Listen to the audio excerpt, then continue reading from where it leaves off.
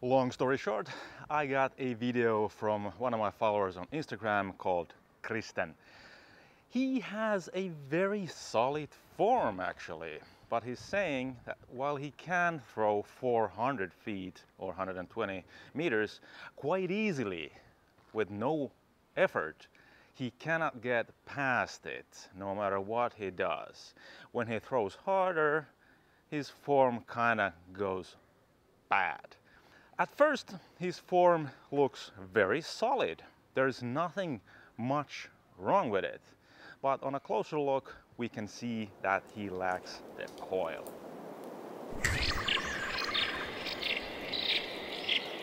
So here we see Kristen taking the slow run up. He takes the X step, reaches for the ground with the brace leg and rotates his shoulders at the same time.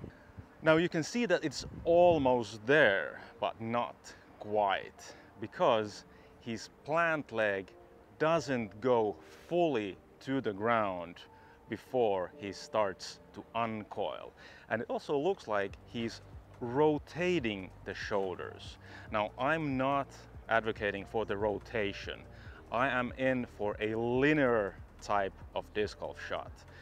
Your legs go forward and because they go forward, you have to uncoil at the same time, but it doesn't happen like rotating. Because Kristen is rotating, his arm also collapses a little bit too much to the chest.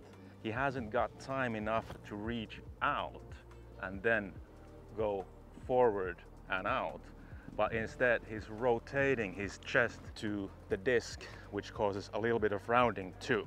So let's now see what a human pretzel, Joona Heinänen, one of the most beautiful forms of modern disc golf looks like.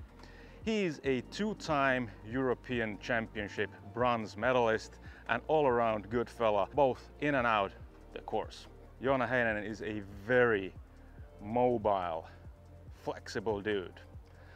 But not only that is a prime example of a good coil. Here you can see him taking a very wide stride. At the same time as he's taking the stride, he's almost like pushing the shoulder out. Here you can see a better example of him really pushing the shoulder out. This ensures that the elbow is not collapsing to the chest at any point, but is making the arm as long as possible so that it can stay also as out as possible from the chest. Now the second thing is that he keeps on turning the shoulders for as long as possible. While he's taking the stride, he just turns the shoulders and keeps on turning until and even beyond the point that his brace leg touches the ground. Not only is it touching the ground, he's fully pushing down so that the left leg, the back leg, is actually lifting up from the ground before he starts the throw.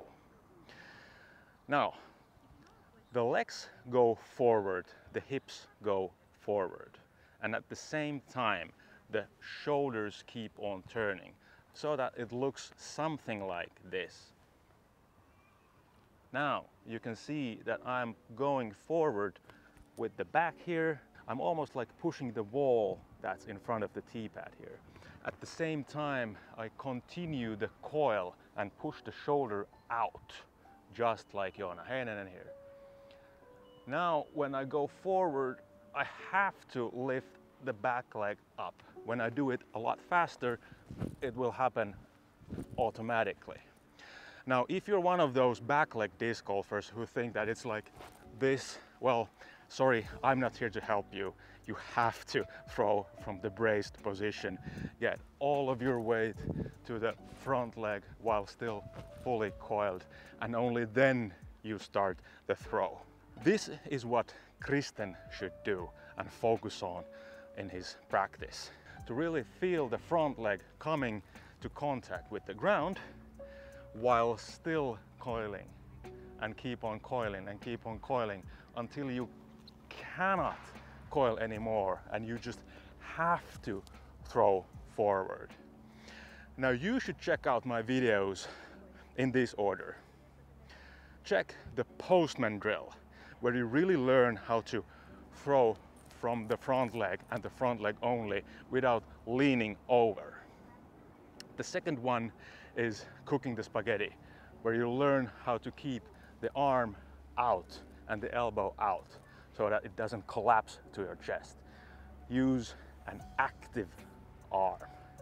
And then check out the ABC video. Always be coiling. Those three videos are basically everything you need. But of course, you can check out the bracing videos. I've done many. The hips videos, I've done many. So that's how you learn how to throw a decent backhand. Remember, it comes only to three things. Bracing, go forward. Elbow, keep out. And follow through when you don't stop the movement.